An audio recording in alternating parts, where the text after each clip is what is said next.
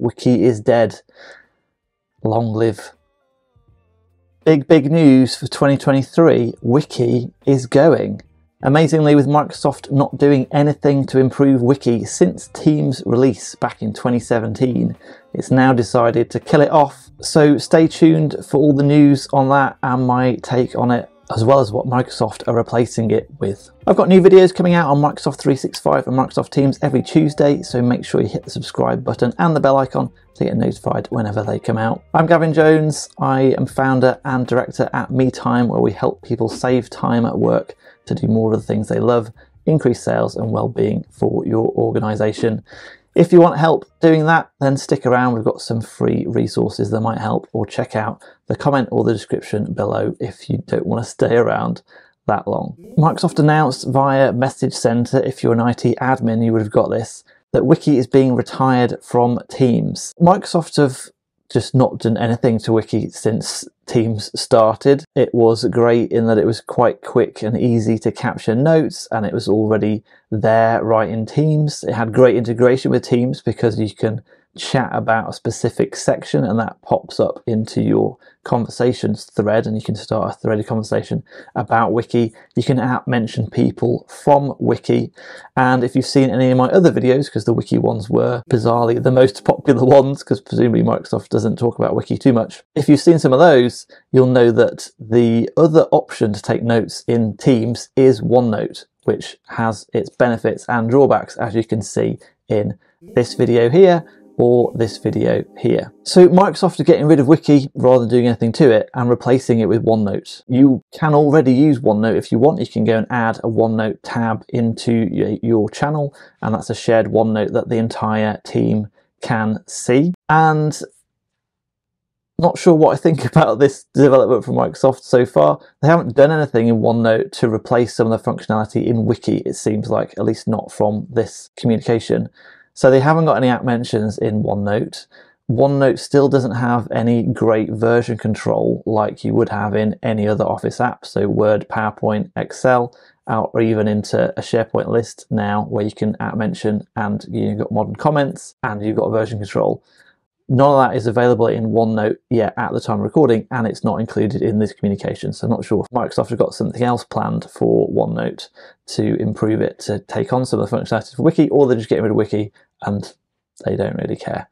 So OneNote is great. It's a lot more robust than Wiki, and uh, in my previous videos, I recommended using OneNote if you need to something that's you know you really need to keep and it's business critical because it's a lot seems a bit more robust and more functionality in OneNote. But with more functionality comes more complication.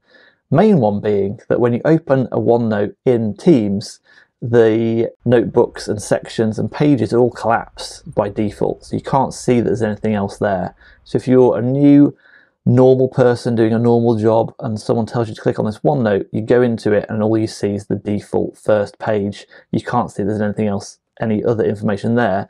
I mean, it's only a click to expand it and go and see, but still, I'm not sure if Microsoft are going to fix that. But that one little change, if anyone from Microsoft in the development team is listening, would make the user experience way, way better for people that aren't tech savvy, that just want to get their job done and need to go into OneNote to go and find some stuff. So back onto their communication. So we're scrolling through their screenshots here. So if you go into Wiki, presumably starting from mid-Feb, it's going to say your wiki tabs are going to go away in April 2023. You can export all your content to Notes tab, which I'm, if you've already got a OneNote there, I'm not sure where it's going to go. You might not have called it Notes tab, so I don't know if Notes tab is going to pop up for you, which might add a bit of confusion because you have one instance of OneNote across your entire team and have different views of the same OneNote in different channels, or you can have multiple instances of OneNote within the same team, which then you can't get back to another OneNote once you're in that OneNote because it's a different workbook.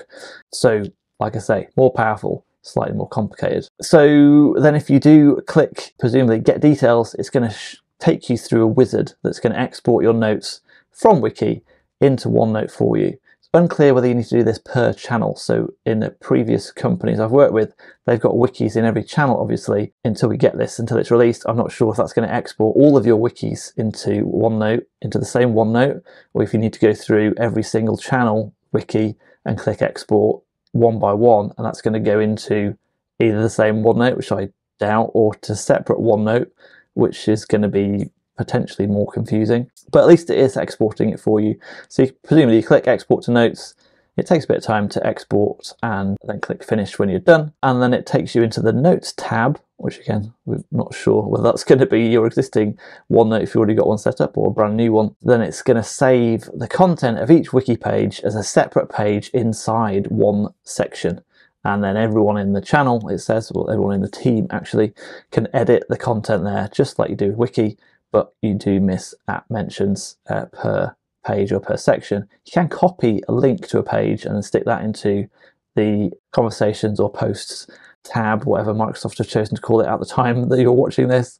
And it does take you directly into that page now, which it didn't used to do when Teams first came out. So that's a good advancement. It used to jump you out into either your OneNote desktop or into the web version. So now it keeps you in Teams and takes you to that page that's a bit better at deep linking through Teams, which is good for all of us. And then once you've exported it, it says that then it keeps a read-only version of your wiki tab but it says, you know, just in, in, case you need to keep anything whilst you check that it's copied over effectively and then it's going to say that you can go and delete it if you want. So just right click wiki and then select remove and then it's gone forever. Wiki is dead. Long live OneNote. So like I say, it'll be interesting to see how Microsoft actually copes with this change and implementation, whether they build some missing functionality into OneNote in Teams, how you know the detail is it going to export all your wikis at one time is it going to move it into one OneNote workbook or one OneNote workbook per wiki, which I think is going to be pretty confusing for people, to be honest, because there's so much stuff in OneNote. And if you've already got OneNote in there, so in previous companies I've worked in and been a consultant for, you got you end up with Wiki and OneNote used for slightly different things. And then now, if you've got a OneNote, usually what OneNote for the entire team across channels, if this is now setting up a separate OneNote, you're probably going to end up losing stuff, which is one of the biggest downsides of Teams, although of all the benefits usually outweigh it. If you get your structure of teams right, if left to people's own devices, you usually end up losing stuff. One of the biggest complaints about teams that I hear sooner or later is that people end up losing things. Either you're overusing chat or you have too many small teams. And if you now adding OneNote into that complexity, you might end up with too many OneNotes and end up losing your notes somewhere if Microsoft doesn't do this transition particularly well. So if you need more help getting some ideas about how to structure teams and get the most out of Microsoft 365 for your organization with the goal of saving people meaningful hours per week in time wasted, then check out our free course linked in the description below takes you through some ideas, bite-sized videos. If you need any more help, then feel free to book a call and I'm happy to help get your best next step towards modern working for your organization. So if you like this video, before you leave, remember to click the thumbs up. It really does help us in the algorithm. If you really liked it, consider buying some beer in the link below or using super thanks just under the video. And if you haven't subscribed, please click the subscribe button and the bell icon to get notified every time we release a new video. There's one coming out every Tuesday. And thank you for watching so far. See you in the next one.